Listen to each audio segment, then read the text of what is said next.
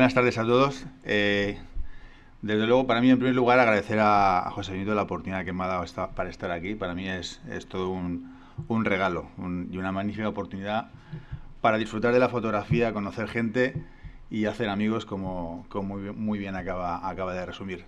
Eh, la sección de fotografía clásica, pues, es un reto. La verdad es que, y para mí, eh, con el paso del tiempo cada vez me va a suponer más dificultad, porque resumir en 44 sesiones y buscar 44 fotógrafos, pues no es fácil, a lo largo de casi 180 años de historia de la fotografía y, además una dificultad añadida, la, selección de fotografías de cada uno de esos autores. Como todo saber que alcanza madurez, como es el caso de la fotografía, mm, con eh, proporciones enciclopédicas, resumir ya es difícil y, y creo que es imposible saberlo todo. Por lo menos yo renuncio a saberlo todo y, no convertir eso en una obsesión, porque si no al final dejas de disfrutar, eh, que en definitiva creo que es de lo, de lo que se trata. Para empezar, eh, pues yo me planteé pues ir a los orígenes, al comienzo, eh, saber un poquito cómo empieza toda esta historia, que es fruto de la evolución del hombre, pues desde los tiempos de Aristóteles, que ya empezó a, a conocer qué era el principio del funcionamiento de la cámara oscura y qué era la luz, esa magia que nos permite obtener una imagen y luego plasmarla eh, de forma permanente en un soporte, bien papel, bien cristal o con medios informáticos. Eh, y vamos a empezar precisamente pues, por los pioneros. Eh, desafortunadamente quizás para nosotros en España pues nos hemos incorporado después. Es una suerte para algunos el, poder haber disfrutado en, pues, en Francia, en Inglaterra, incluso en Escocia o en Estados Unidos, de mayores oportunidades porque son los pioneros. Esos países nos sacan mucha ventaja. Yo creo que quizás eh, esa tendencia, pues con lo que acabas de decir tú de los 200.000 fotógrafos en España, quizás se invierta en el futuro y, puede ser así. Nos hemos incorporado después por múltiples razones históricas, culturales, políticas, económicas, pero creo que, se pueden dar saltos importantes y espero que esto se consolide y sea algo eh, que tenga continuidad en el futuro y marque un antes y un después en la historia de la fotografía en Alicante, en España y, y allende fronteras, porque pues parece ser que va a traspasar el ámbito geográfico incluso español. Y sin más, pues vamos a empezar. Pues este es el formato que va a tener, que ya conocéis. Y bueno, yo he elegido el título Pioneros de la fotografía pintando con luz. Como sabéis, la palabra fotografía viene del griego fos y grafos, que es pintar o dibujar con luz. Y es una... No creo que se pueda haber elegido un término eh, más adecuado para, en definitiva, ilustrar este, este arte, esta disciplina, esta, esta ciencia. ¿no? Y veremos incluso, eh, pintando con luz está eh, decididamente o digamos escogido este, este título, este rótulo para el inicio, porque desde los comienzos de la fotografía pues hay un momento en la historia en, en, Escocia donde alguien eh, ilustra un libro con estos términos, como veremos hoy en día. Bien, el primero del que vamos a hablar es Nicéforo Nips, un francés eh, que acuña o inventa o descubre un procedimiento que es la heliografía. Obviamente este es el fruto de un proceso en el tiempo del que él se beneficia también. Hay precedentes desde la cámara oscura, desde eh, Thomas Wedgwood con experimentos con sales de plata, con distintos soportes, pero el reto hasta la llegada de Nipth era eh, obtener un resultado permanente, cómo conseguir fijar de forma permanente esa imagen latente y que con la exposición a la luz solar desaparecía en, breve tiempo. Bueno, es francés, nace en 1765 como, vemos, y ya desde 1793 empieza a experimentar cómo conseguir eh, fijar esa imagen de, forma permanente. Además era inventor, era químico, era una persona ilustrada, con, culta, con conocimientos y con dificultades económicas en, distintas etapas de la vida. Es cierto que fue coetáneo de Luis Daguerre, el inventor del daguerrotipo, y de William Henry Fox Talbot, del que también hablaremos ahora. Y hubo una, una terna, casi digamos, cuatro o cinco personas que de forma coetánea eh, pugnaron por eh, ser el pionero, el que patenta, el que, digamos, se, atribuye la posición histórica, yo he sido el primero. Y uno de ellos fue Nips, que al final fue el, el perdedor en la batalla, entre otras cosas por el, el avispado espíritu empresarial también de, de Daguerre, que era un poquito más, más vivo en, esta, en estas lides. ¿no? Fijaos que empieza incluso con la piedra a experimentar eh, con la obtención de imágenes en 1814, la piedra, eh, planchas de piedra, eh, cristal, distintas placas con estaño, con cobre, con aleaciones de distinto tipo, hasta... Bueno, en, este, este en estos comienzos todo es un poco experimentación. Él se, asoció también con Daguerre y entre ambos quizás esa asociación que surge en Francia fue lo que le da el impulso definitivo a, la fotografía. al final él fallece y establecieron incluso un contrato por escrito, su hijo Isidoro eh, se asoció con Daguerre y fueron los que de alguna manera obtuvieron un rendimiento económico en, Francia. El nombre que le da es heliografía y él distingue entre heliograbados y puntos de vista. ¿Por qué? Eh, bueno, helios viene del sol, grabado un grabado hermoso por acción de la luz del sol. Distingue entre estos dos términos porque él pretendía la reproducción de documentos o objetos, fundamentalmente documentos, o incluso obras de arte, de tal manera que se pudiera eh, incorporar a la fotomecánica, a la edición impresa de libros, y por otra parte la de fotografías, como pudieran ser retratos, escenas de la naturaleza, eh, incluso fotografías de edificios, etc. A estas segundas imágenes les llama puntos de vista, eh, además, a mi modo de ver, un término muy adecuado porque en definitiva nosotros oteamos, vemos el horizonte desde un punto de vista. Entonces, para mí tiene el término está muy, muy acertadamente elegido. La primera fotografía eh, que se conserva de la historia la vamos a ver. hay otras anteriores, pero que han desaparecido en el tiempo. Eh, pero solo hay una copia, digamos el original permanece en el Harry Ramson, Center de la Universidad de, de Austin, en Texas, y en 1952 es redescubierto, como vemos aquí, por este matrimonio, Allison y Helmut Gersheim, eh, que piden una reproducción a partir de la placa original metálica, eh, donde participa la empresa Kodak. Otra, eh, su fundador también es George Eastman, que todos conoceremos y es pues, un momento clave en la historia de la fotografía por la película que aporta y también por la invención de una cámara muy pequeña eh, que permitía permitió en su momento la popularización de la, fotografía. Esta es la fotografía vista de la ventana de Gras de 1826. Está hecha desde, desde su domicilio, desde su vivienda en Legras. Hoy hay un museo allí, el Museo de eh, Nips. Está hecha en 1826 y el tiempo de exposición fue aproximadamente de 8 horas. 8 horas. Algunas de estas imágenes necesitaban en los primeros momentos hasta cinco días de tiempos de exposición. Requería tratar las placas originales pues con unas, una, eh, pues una, eh, una especie de pasta con betún de Judea, con derivados del petróleo y distintos eh, compuestos químicos, se, se, exponía a la luz solar y después pues el resultado definitivo al lavar la placa era esto. Esto es la, digamos, la reproducción sobre papel el positivo sobre la placa original. ¿Vale? Y esto es de 1826, es la primera escena al aire libre y esto es un punto de vista, no una heliografía. Y esa es la diferencia entre la terminología que adopta en su momento Nips. Eso es un dibujo más o menos de lo que eh, podría haberse visto desde esa vivienda.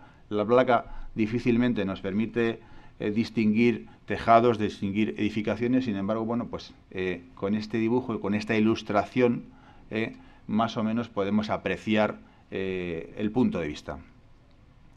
Esta es otra obra desaparecida, un fisautotipo, este es un procedimiento distinto que en 1832, en un libro de un semiólogo francés que se llama Roland Barthes, Parece ser que es un nuevo procedimiento que a partir de 1832, la fecha no es exacta, la obra está desaparecida y es esta imagen que vemos aquí.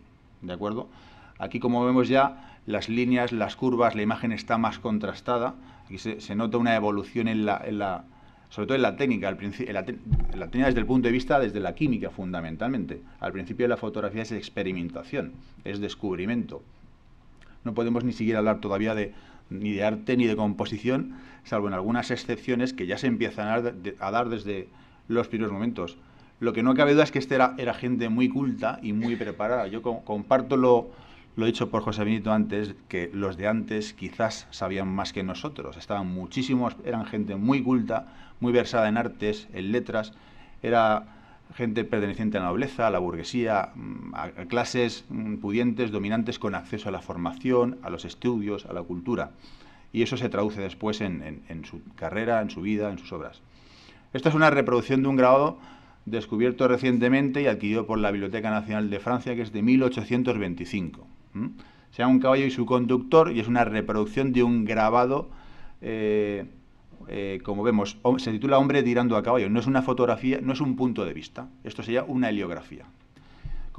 aquí se podemos distinguir, eh, digamos, el doble objetivo que había en estos orígenes como decíamos, aportar un método que permitiese la difusión de la, de la imagen a través de la fotomecánica y no recurrir a ilustradores, dibujantes, pintores, sino que de esta forma se podrían en el futuro, en esas pretensiones iniciales ya se encuentra eso, la posibilidad de obtener copias múltiples y de forma que permitan pues la difusión en definitiva de documentos en cualquier tiempo y lugar. Muy recientemente, Nips viajó a Inglaterra con la pretensión de obtener de la, eh, de la Royal Society londinense el reconocimiento de su invento.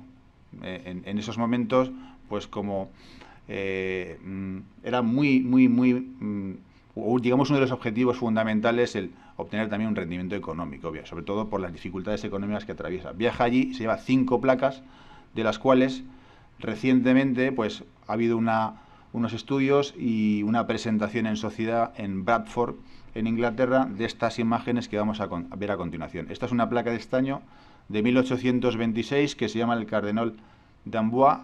Aquí la vemos sobre el marco original. Eh, más de uno de los que está aquí habrá hecho sus pinitos en Photoshop. Si cogemos esta placa y le damos a invertir o control I, obtenemos el positivo. Si esto lo escaneamos o conseguimos esta imagen que es accesible en internet y que va a estar descargada en el PDF, simplemente invirtiendo esta imagen que vemos aquí, vamos a tener el positivo. Y lo vamos a ver a continuación. Bueno, esto es en detalle, donde vemos, esto es un grabado. Es decir, en IPS contrató un grabadista y sobre la placa que obtenía se grababa, como vemos, la imagen. Tiene un aspecto de, acuña, de monedas acuñadas. El procedimiento es muy similar. Y el paso siguiente, esta es la reproducción por contacto, como vemos, digamos el positivo.